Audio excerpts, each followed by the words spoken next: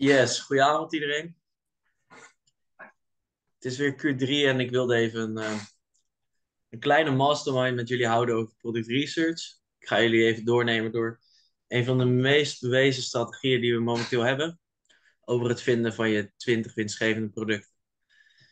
Deze hebben we al wel eens eerder behandeld, in ieder geval dezelfde soort type strategie. Alleen het is wel belangrijk dat je dit nog steeds blijft toepassen, mocht je nog steeds geen winnend product hebben, dan is product research iets wat waarschijnlijk bij jou misgaat. Tuurlijk is het een testing game, alleen je wil niet te veel gaan testen, dan uh, ga je door je advertentiebudget heen.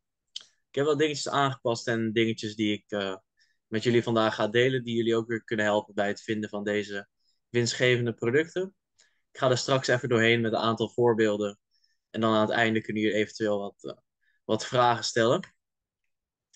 Nou, ik heb hier allemaal wat gratis tools zoals altijd. Die productindex, dus die negen criteria die we altijd aanhouden. Google Trends.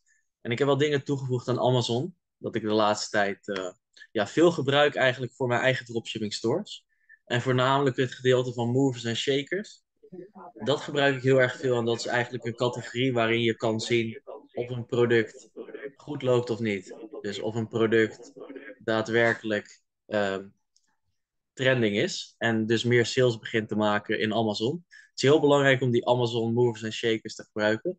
Zowel als je bezig bent met Bol, maar zeker voor Shopify is dit gewoon echt een must, omdat hier producten inkomen die nu uh, aan het omhoog gaan, zeg maar, op de lijst. En daardoor meer trending worden. Zeker deze tijd van het jaar is dat belangrijk heel goed in de gaten te houden.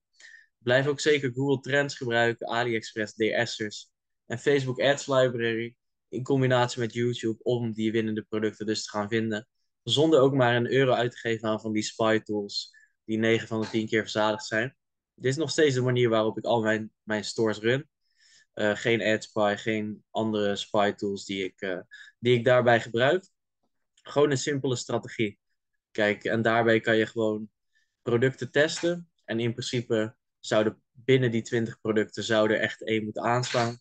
Als ik kijk naar mijn eigen stores, is dat gemiddeld 1 op de 3 of 1 op de 4 producten die aanslaat en winstgevend wordt. Sommige kortere tijd winstgevend, sommige langere tijd winstgevend. Dan gaan we door naar die productindex. En het is heel erg belangrijk dat als je producten bekijkt, niet alleen van een concurrent, maar op AliExpress, Amazon, waar dan ook, dat je altijd deze criteria in de gaten houdt. Dus dat een product je zelfvertrouwen eventueel verbetert, het verbeteren van gemak, een probleemoplossend filterbehoefte slash verbouwfactor, bespaart tijd, bespaart geld. Extreem uniek, verbetert kwaliteit van leven, vrouwendominant en hooggeschatte waarde. Nou, hierbij is het nog steeds super belangrijk dat we zoveel mogelijk vrouwenproducten gaan testen.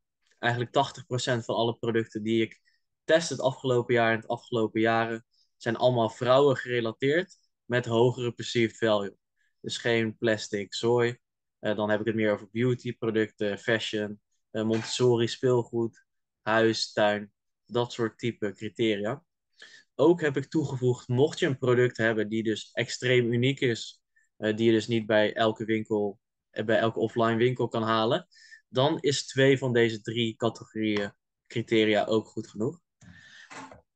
En in alle andere gevallen heb je dus minimaal drie nodig. Nou, hoe meer, hoe beter. En dat kan je eenmaal in de product research sheet goed terugzien en op basis daarvan je producten uitkiezen.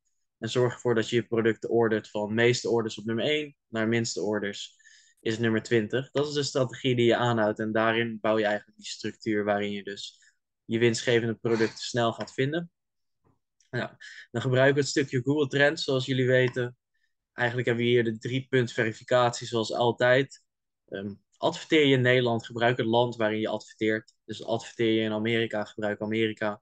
Um, en adverteer je in Nederland, gebruik je Nederland. Of voor de bolverkopers, zeker Nederland en, uh, en eventueel België. Nederland afgelopen 90 dagen en Google zoeken. Je kan ook Google Shopping gebruiken, alleen die is heel inconsistent. Dus ik gebruik eigenlijk veel Google zoeken. En daarbij gebruik je dus die drie punt verificatie. Dus momenteel dat je boven die lijn boven de 35 zit. 50% van de tijd boven de 50. Nou, hier is die alleen maar boven de 50. En stijgend van begin tot eind.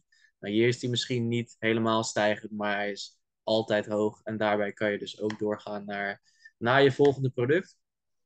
Nou, hier heb ik nog een voorbeeld van Bol. Waar moet je nou op letten bij Bol? Is in principe veel reviews, dat je product op pagina 1 staat. Ehm, het is niet eens erg als er 20 pagina's van jouw product op Bol staan of dat jouw product veel goedkoper is op Bol dan op je eigen website. Dat maakt helemaal niks uit, omdat we dus op deze impuls aankopen focussen met Facebook ads.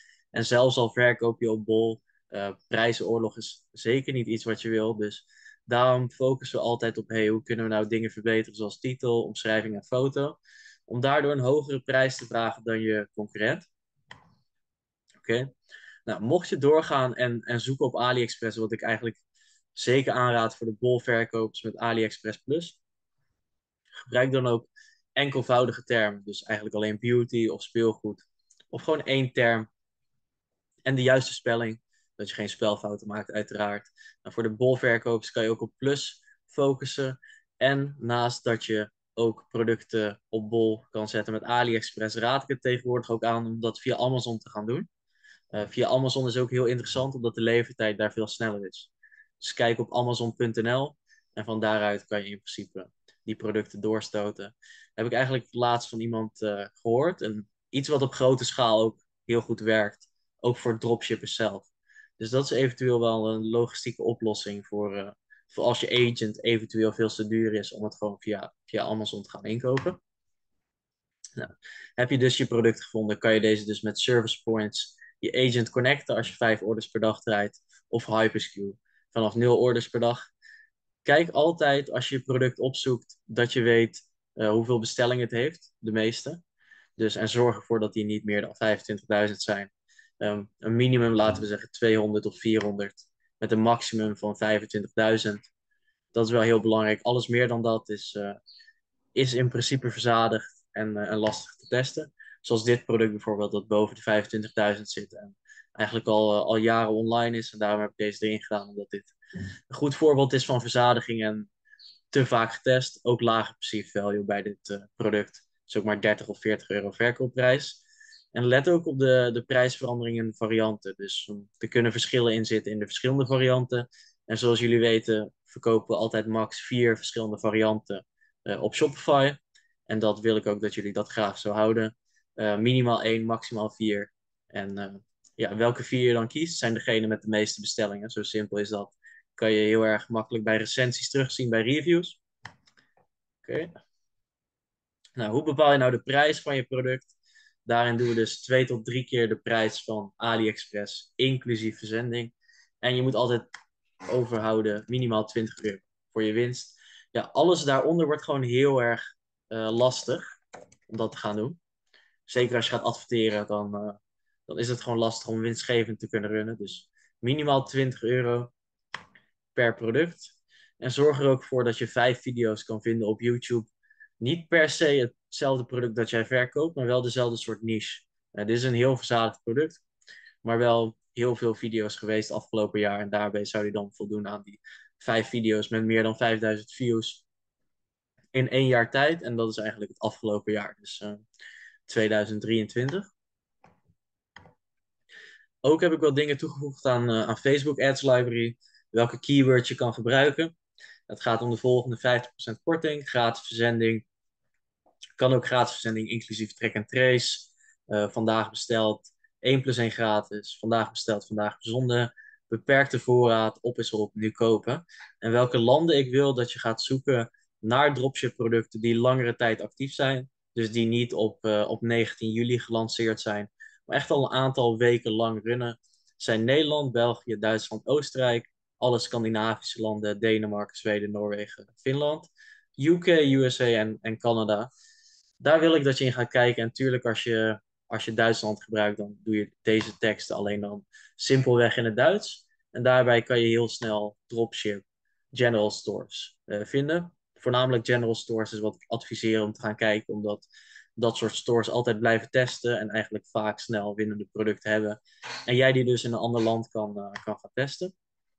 Nou, daar heb je die product research sheet altijd in en daarbij voel je gewoon je productnaam in, de niche waarin je product staat, revenue op Bol kan je met een, uh, een tracker als Bollo bijvoorbeeld doen.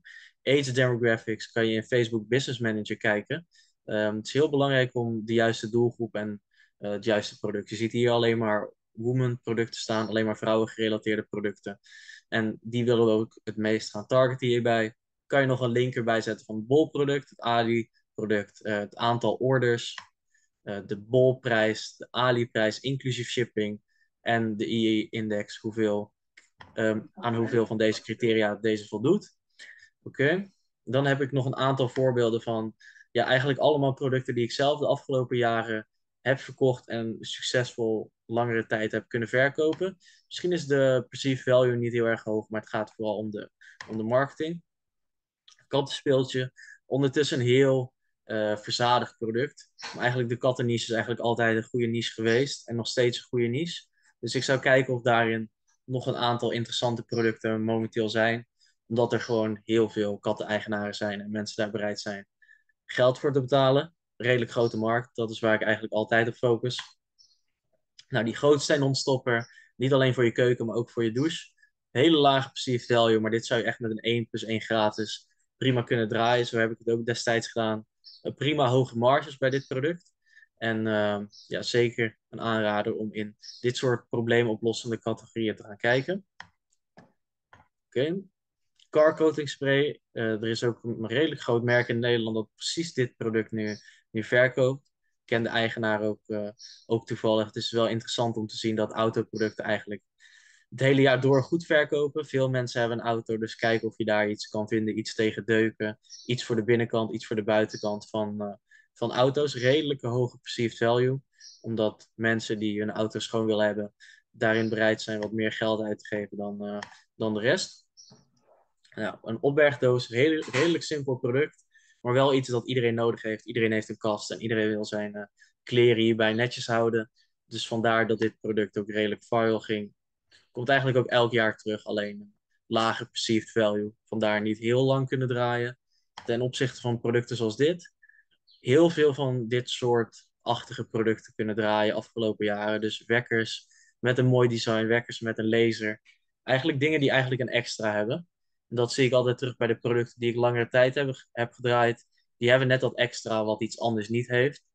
Zoals het volgende product. Het lijkt een simpele lamp. Normaal gesproken ben ik niet fan van, uh, van lampen, maar dit is echt zo'n uh, zo'n slaaplamp. Dus stel je voor je gaat opstaan en je gaat naar de wc, dan is deze niet super fel en val je daardoor dus, uh, dus makkelijk in slaap. Super handig product, verschillende groottes. Um, dus dat soort slaapgerelateerde producten werken heel, ook heel goed. Wake-up lights heb je tegenwoordig ook, ook verkocht de afgelopen tijd. En van die slaapbrillen. Eigenlijk alles omtrent slaap is altijd wel een goede, omdat ja, iedereen slaapt. Dus iedereen heeft dat soort producten in principe nodig. Oké, dan hebben we nog een vernevelaar. Uh, hogere perceived value en daarom is het ook een topproduct om, om te verkopen heel simpel product, badkamer voor, uh, voor honden om je hond schoon te maken. Maar hierin kan je wel dit erin spuiten, waardoor je makkelijker je hond schoon kan maken. Dus ik zou zeggen, hondengerelateerde producten, niet alleen voor de, in de auto, maar ook voor het huis. Omtrent haar is altijd een uh, goede markt om in te kijken. We hebben nog wat beautyproducten. Slaan eigenlijk bijna altijd aan. Enige ding is wel lage winstmarges, 9 van de 10 keer. Niet veel retouren, maar ik zou kijken naar uh, producten zoals dit, maar die dan nog een extraatje hebben tegenwoordig. Omdat dit soort producten nu uh, redelijk verzadigd zijn. Nou, dit is echt een typisch uh, TikTok-product destijds. we adverteren alleen op Facebook, maar ik raad ook wel aan om TikTok af en toe in de gaten te houden. TikTok Make Me Buy It. Kijken welke producten daar heel hard gaan en welke je eventueel zou, zou kunnen toepassen op Facebook. Oké.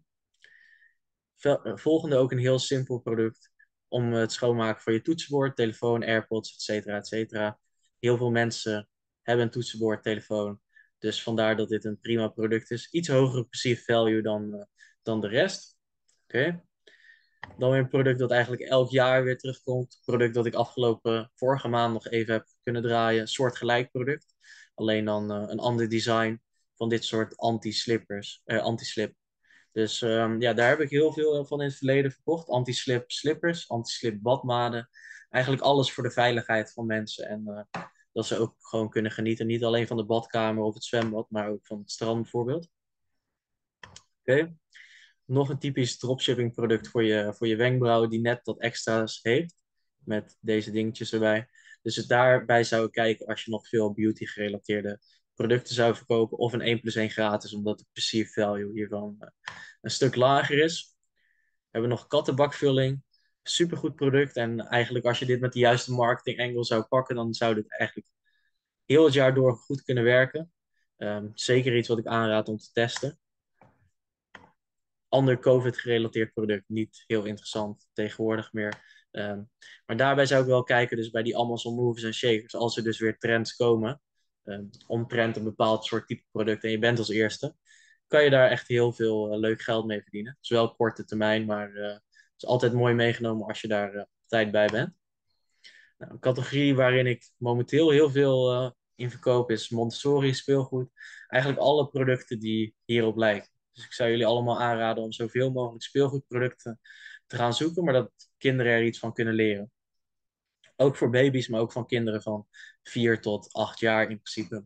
Lezen, schrijven, rekenen, tellen, uh, dingen aanraken voor baby's. Eigenlijk alles omtrent kinderen is, uh, is top. Nou, nu nog voor, voor honden voor travel. Ook een heel simpel product, maar wel een product dat werkt. Uh, eventueel interessant. Valentijnsdag gerelateerd product. Uh, ook meer korte termijn, maar wel iets dat interessant is.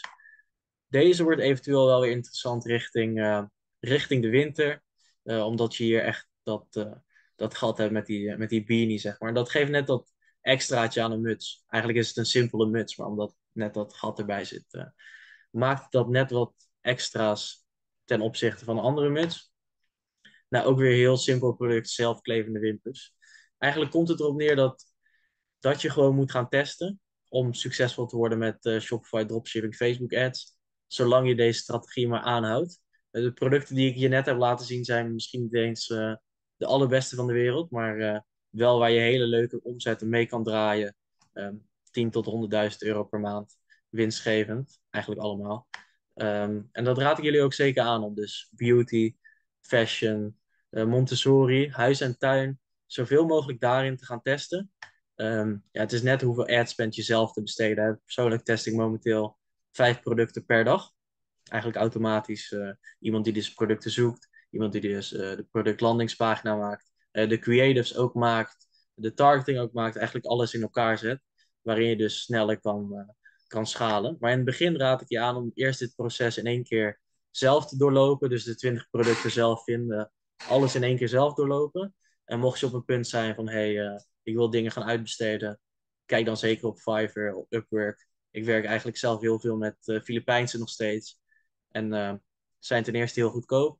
En werken op zich prima, mocht je ze getraind hebben. De meeste mensen die ik heb, die zitten nu bijna al twee of drie jaar in je team. Dus ehm, mensen zijn echt wel bereid te werken, ook voor iets minder geld. Dus ik zou zeker aanraden als je aan het schalen bent om dat soort mensen in dienst te nemen. Allereerst moet je wel een, een winstgevend product hebben.